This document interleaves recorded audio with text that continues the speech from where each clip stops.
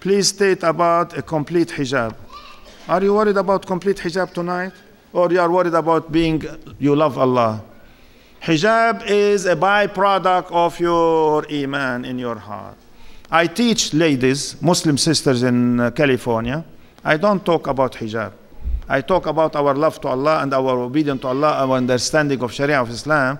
The byproduct of your knowledge of practicing Islam, one of them, one of them is hijab, whether complete or non-complete. I teach also Islamic Sharia classes. What we need, which I didn't have time to express it now, it might be. What you should do here, as long as you have different imams and alim and hafiz and qari, if you don't have it, you have to start having it. I said you have to have three things.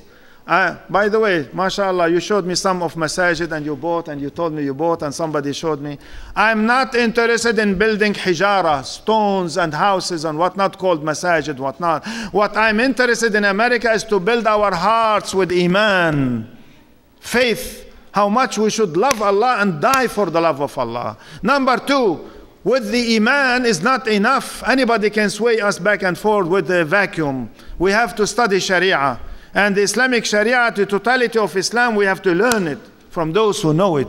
Number three, we have to go and seek for the teacher who should teach us. But he should not be acting as a teacher only, he should act as a murabbi for us. You know what is a murabbi? You fathers and mothers, you are murabbi for your babies and your children. And we need somebody who will act as a murabbi for us. He will tell us, sit down, sit down, stand up, stand, go, go, come, come. For the love of Allah, not for the sake of ego. A murabbi, for the love of Allah, he has to train us, mold us, shape us, and make us really to practice Islam.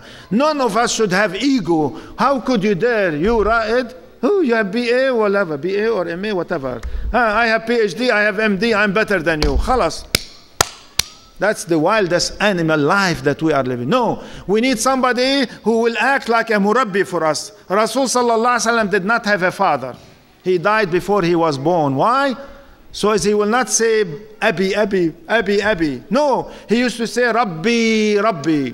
He said Adabani Rabbi fa ahsana ta'dibi. It is Allah subhanahu wa ta'ala who trained me, who molded me, who shaped me, he made me what I am. In Arabic, they say, لولا المربي ما عرفت ربي. Were it not for that murabbi, I wouldn't have recognized who is Allah. We need somebody like a murabbi to act as a murabbi, to come and teach us Islam and be a role model for us, not only to talk, talk, talk, talk. A murabbi means he has to take us and to the washroom and show us how we clean the washroom. This is what I say to the Muslim. If you are not ready to go with me to the washroom and clean the washroom, you are not good. Class number one and step number one is to know how to clean the washroom, then the kitchen, then the masjid, then take the garbage, go outside, then come and study your Islam, and then go and deliver the message of Islam. If we are not ready to do it this, okay, go stay like this. I had to go all the way to Hong Kong to give the Islamic Sharia class in a crash course for five days from morning till evening. I had judges, I have lawyers, I had uh, PhDs, I have Arabs, I have uh, Chinese, I had Australian, I had British, I have English, uh, uh, French, and whatnot. We're sitting in the class daily from morning till 10 o'clock. While I'm teaching it a course here in California, 14 weeks.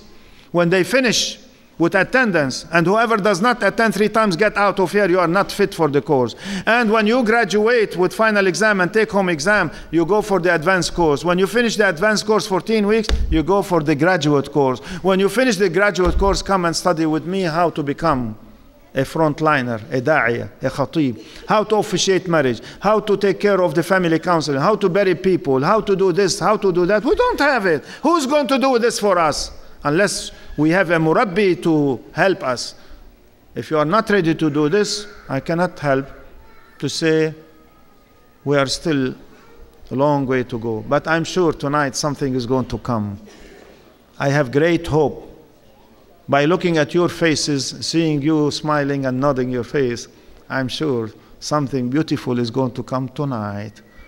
And I hope and I pray when we go to tonight and tomorrow, let's hear something good in order that we will deliver the message of Islam all over the world, inshallah.